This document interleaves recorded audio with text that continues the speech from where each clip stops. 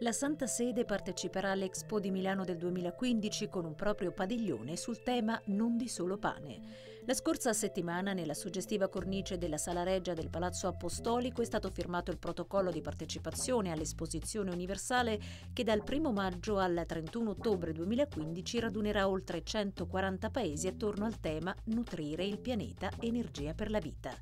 L'evento, nel solco di una lunga tradizione di partecipazione che risale addirittura all'Expo di Londra del 1851, è stato poi illustrato ai giornalisti dal cardinale Gianfranco Ravasi, presidente del Pontificio Consiglio della Cultura e commissario generale della Santa Sede per l'Expo di Milano 2015, e da Giuseppe Sala, commissario unico di governo e amministratore delegato dell'Expo 2015. In questa eh, esposizione universale che è italiana, che ha un tema come quello dell'alimentazione che è così vicino ai temi della Chiesa, certamente la Santa Sede non, non poteva mancare. Non è il padiglione della città del Vaticano, è il padiglione della Santa Sede.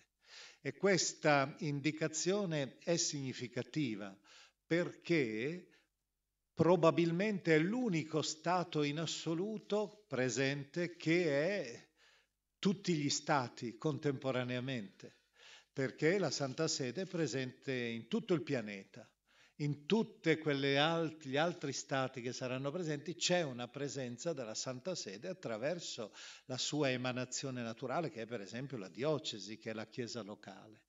Ed è per questo motivo che il padiglione della Santa Sede deve essere il più ecumenico possibile, nel senso etimologico del termine, il termine greco, Oicumene indica il pianeta, indicava il pianeta. Il motto che ispirerà il padiglione della Santa Sede sarà non di solo pane, per evidenziare, ha chiarito il cardinale Ravasi, soprattutto la dimensione interiore, religiosa e culturale che tocca sia la persona sia le sue relazioni a tutti i livelli, perché il nutrimento interiore è tanto necessario quanto quello che risponde ai bisogni più immediati. Parlare del cibo e delle risorse del pianeta non vuol dire soltanto affrontare una questione fisico-economica, biologica, vuol dire affrontare una esperienza umana radicale. Per questo noi, come Santa Sede, che incarna una religione, che è la religione cattolica universale, vogliamo anche però dare rilievo a questo tema della simbolicità del cibo. Su una mensa, l'altare è pur sempre una mensa, c'è il pane, c'è il vino. Ci sono due simboli universali costanti del cibo umano e sono il segno per il cristianesimo della presenza continua di Cristo.